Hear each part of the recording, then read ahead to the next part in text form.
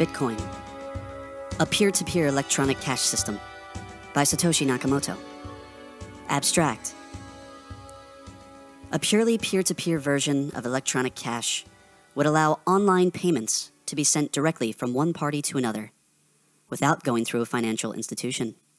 Digital signatures provide part of the solution, but the main benefits are lost if a trusted third party is still required to prevent double spending.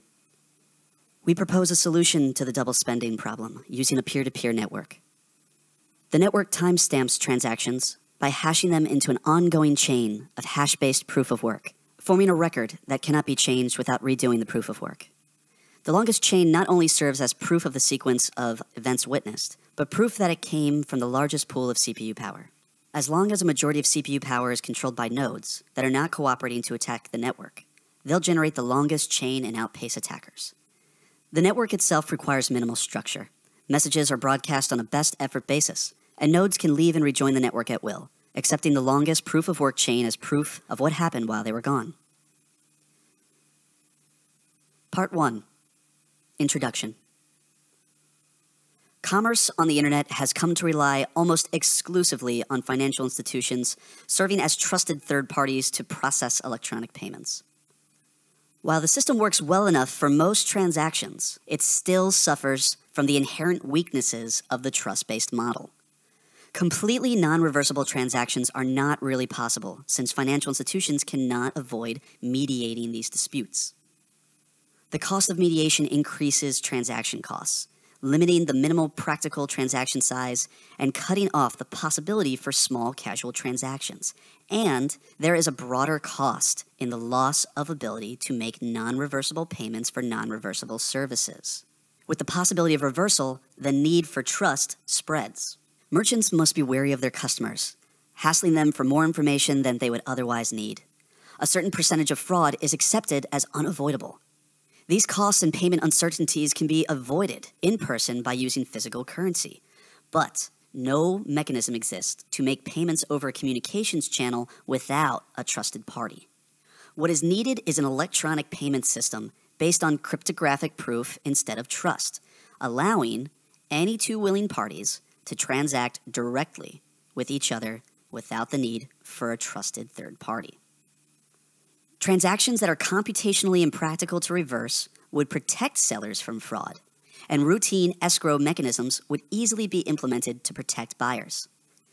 In this paper, we propose a solution to the double spending problem using a peer to peer distributed timestamp server to generate computational proof of the chronological order of transactions. The system is secure as long as honest nodes collectively control more CPU power than any cooperating group of attacker nodes. Part 2 Transactions. We define an electronic coin as a chain of digital signatures. Each owner transfers the coin to the next by digitally signing a hash of the previous transaction and the public key of the next owner and adding these to the end of the coin. A payee can verify the signatures to verify the chain of ownership. The problem, of course, is that the payee can't verify that one of the owners did not double spend the coin. A common solution is to introduce a trusted central authority, or mint, that checks every transaction for double spending. After each transaction, the coin must be returned to the mint to issue a new coin, and only coins issued directly from the mint are trusted not to be double spent. The problem with this solution is that the fate of the entire money system depends on the company running the mint with every transaction having to go through them just like a bank. We need a way for the payee to know that the previous owners did not sign any earlier transactions. For our purposes, the earliest transaction is the one that counts, so we don't care about later attempts to double spend.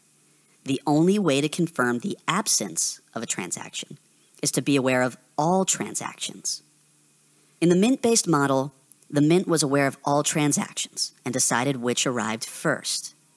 To accomplish this without a trusted party, transactions must be publicly announced.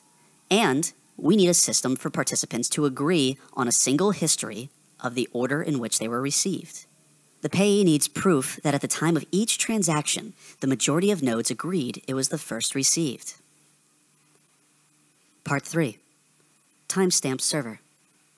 The solution we propose begins with a timestamp server. A timestamp server works by taking a hash of a block of items to be timestamped and widely publishing the hash, such as in a newspaper or Usenet post. The timestamp proves that the data must have existed at that time, obviously in order to get into the hash. Each timestamp includes the previous timestamp in its hash, forming a chain, with each additional timestamp reinforcing the ones before it. Part 4 Proof of Work. To implement a distributed timestamp server on a peer to peer basis, we will need to use a proof of work system similar to Adam Back's Hashcash rather than newspaper Usenet posts. The proof of work involves scanning for a value that, when hashed, such as with SHA 256, the hash begins with a number of zero bits. The average work required is exponential in the number of zero bits required and can be verified by executing a single hash. For our timestamp network, we implement the proof of work by incrementing a nonce in the block until a value is found that gives the block's hash the required zero bits. Once the CPU effort has been expended to make it satisfy the proof of work, the block cannot be changed without doing the work.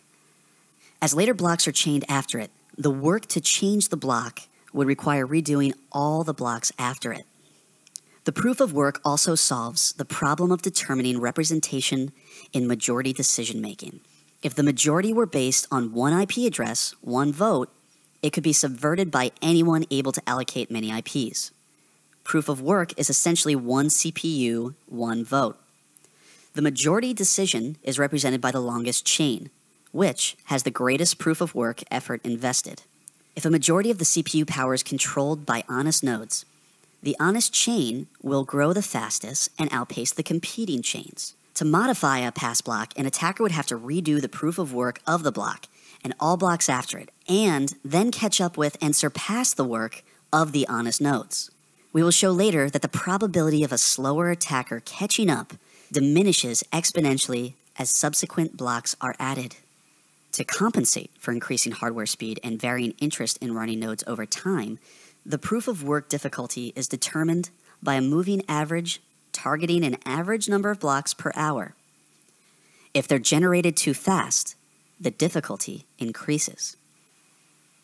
Part 5 Network. The steps to run the network are as follows 1. New transactions are broadcast to all nodes. 2. Each node collects each transactions into a block. 3. Each node works on finding a difficult proof of work for its block. 4. When a node finds a proof of work, it broadcasts the block to all nodes. 5. Nodes accept the block only if all transactions in it are valid and not already spent. 6. Nodes express their acceptance of the block by working on creating the next block in the chain, using the hash of the accepted block as the previous hash. Nodes always consider the longest chain to be the correct one, and will keep working on extending it. If two nodes broadcast different versions of the next block simultaneously, some nodes may receive one or the other first. In that case, they work on the first one they received, but save the other branch in case it becomes longer. The tie will be broken when the next proof of work is found and one branch becomes longer. The nodes that were working on the other branch will then switch to the longer one. New transaction broadcasts do not necessarily need to reach all nodes. As long as they reach many nodes, they will get into a block before long. Block broadcasts are also tolerant of dropped messages. If a node does not receive a block, it will request it when it receives the next block and realizes it missed one. Part 6 Incentive. By convention, the first transaction in a block is a special transaction that starts a new coin owned by the creator of the block. This adds an incentive for nodes to support the network and provides a way to initially distribute coins into circulation since there is no central authority to issue them. The steady addition of a constant of amount of new coins is analogous to gold miners expending resources to add gold to circulation. In our case, it is CPU time and electricity that is expended. The incentive can also be funded with transaction fees. If the output value of a transaction is less than its input value, the difference is a transaction fee that is added to the incentive value of the block containing the transaction. Once a predetermined number of coins have entered circulation, the incentive can transition entirely to transaction fees and be completely inflation free. The incentive may help encourage nodes to stay honest. If a greedy attacker is able to assemble more CPU power than all honest nodes, he would have to choose between using it to defraud people by stealing back his payments or using it to generate new coins. He ought to find it more profitable to play by the rules, such rules that favor him with more new coins than everyone else combined, than to undermine the system and the validity of his own wealth. Part 7 Reclaiming Disk Space. Once the latest transaction in a coin is buried under blocks, the spent transactions before it can be discarded to save disk space. To facilitate this without breaking the block's hash, transactions are hashed in a Merkle tree, with only the root included in the block's hash. Old blocks can then be compacted by stubbing off branches of the tree. The interior hashes do not need to be stored. A block header with no transactions would be about 80 bytes. If we suppose blocks are generated every 10 minutes, 80 bytes times 6 times 24 times 365 should equal 4.2 megabytes per year. With computer systems typically selling with 2 gigabytes of RAM as of 2008 and Moore's Law predicting current growth of 1.2 gigabytes per year, storage should not be a problem, even if the block headers must be kept in memory. Part 8 Simplified Payment Verification. It is possible to verify the payments without running a full network node. A user only needs to keep a copy of the block headers of the longest proof of work chain, which he can get by querying network nodes until he's convinced he has the longest chain, and obtain the Merkle branch linking the transaction to the block it's timestamped in. He can't check the transaction for himself, but by linking it to a place in the chain, he can see that a network node has accepted it, and blocks added after it further confirm the network has accepted it.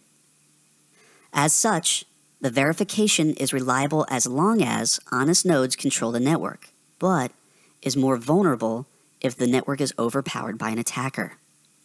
While network nodes can verify transactions for themselves, the simplified method can be fooled by an attacker's fabricated transactions for as long as the attacker can continue to overpower the network. One strategy to protect against this would be to accept alerts from network nodes when they detect an invalid block prompting the user's software to download the full block and alerted transactions to confirm the inconsistency. Businesses that receive frequent payments will probably still want to run their own nodes for more independent security and quicker verification. Part 9 Combining and Splitting Value. Although it would be possible to handle coins individually, it would be unwieldy to make a separate transaction for every cent in a transfer. To allow value to be split and combined, transactions contain multiple inputs and outputs. Normally, there will be either a single input from a larger previous transaction or multiple inputs combining smaller amounts, and at most two outputs one for the payment and one returning the change, if any, back to the sender. It should be noted that fan out, where a transaction depends on several transactions, and those transactions depend on many more, is not a problem here. There's never a need to extract a complete standalone copy of a transaction's history. Part 10 Privacy.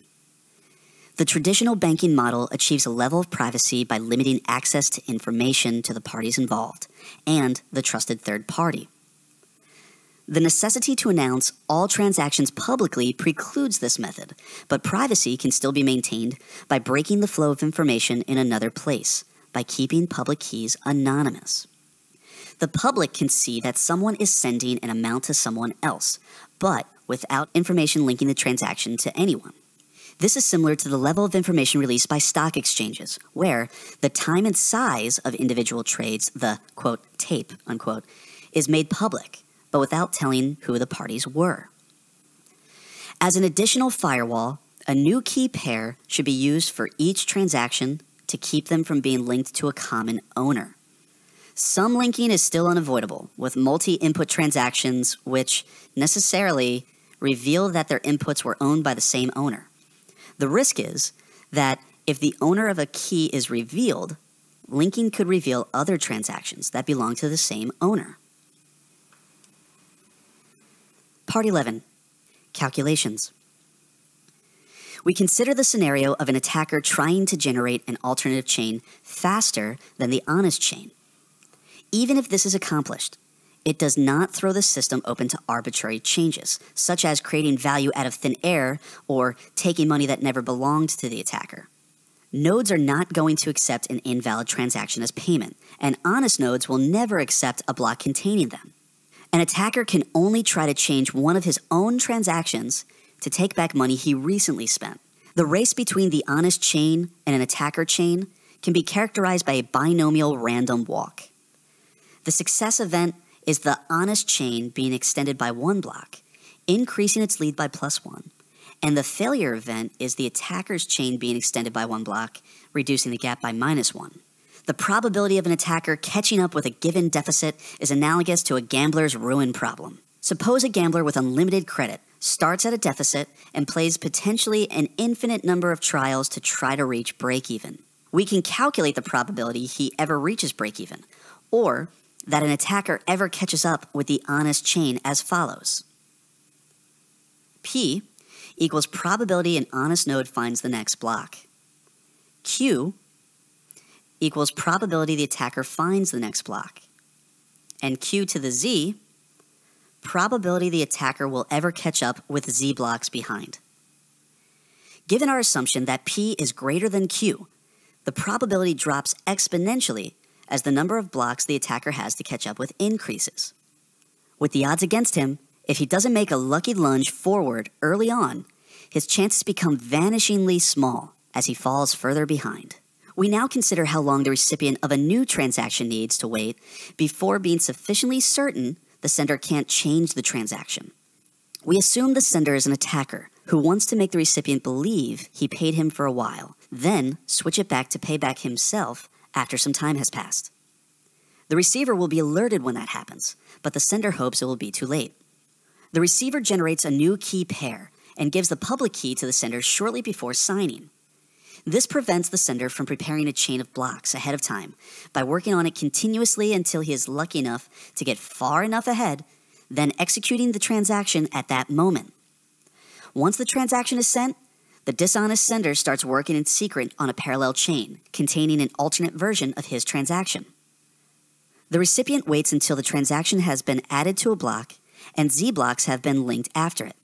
He doesn't know the exact amount of progress the attacker has made, but assuming the honest blocks took the average expected time per block, the attacker's potential progress will be a Poisson distribution with expected value. Please view the formula on your screen. To get the probability the attacker could still catch up now, we multiply the Poisson density for each amount of progress he could have made by the probability he could catch up from that point. Rearranging to avoid summing the infinite tail of the distribution, converting to C code.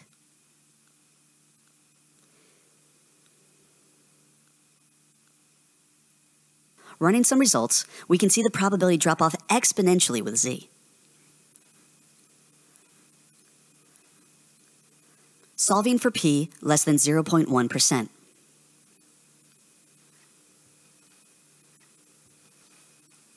Part 12 Conclusion We have proposed a system for electronic transactions without relying on trust. We started with the usual framework of coins made from digital signatures, which provides strong control of ownership, but is incomplete without a way to prevent double spending. To solve this, we proposed a peer to peer network using proof of work to record a public history of transactions that quickly become computationally impractical for an attacker to change if honest nodes control a majority of CPU power. The network is robust in its unstructured simplicity. Nodes work all at once with little coordination. They do not need to be identified since messages are not routed to any particular place and only need to be delivered on a best effort basis. Nodes can leave and rejoin the network at will, accepting the proof of work chain as proof of what happened while they were gone. They vote with their CPU power, expressing their acceptance of valid blocks by working on extending them, and rejecting invalid blocks by refusing to work on them. Any needed rules and incentives can be enforced with this consensus mechanism.